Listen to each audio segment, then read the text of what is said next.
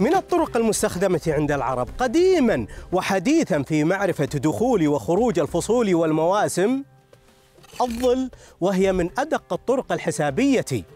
عندهم. وهل الأولين الله يرحمهم يقولون أطول حالات الظل الزوالي في السنة دليل على دخول مربعانية الشتاء وأقصر حالات الظل الزوالي في السنة دليل على دخول مربعانية القيض. وإذا توسط طول الظل الزوالي اعتدل الزمان. ومن دقة الظل جعله المولى علامة على دخول مواقيت الصلاة. أقم الصلاة لدلوك الشمس إلى غسق الليل. وقرآن الفجر إن قرآن الفجر كان مشهودا فصلاتي الظهر والعصر على الظل المباشر وصلاتي العشاء والفجر على الظل الغير مباشر وصلاة المغرب مع مغيب الشمس. والظل آية من آيات الله. ألم تر إلى ربك كيف مد الظل؟ ولو شاء لجعله ساكنا ثم جعلنا الشمس عليه دليلا. فأطول حالات الظل اليومية في حال شروق وغروب الشمس وأقصر حالات الظل اليومية في حال الزوال.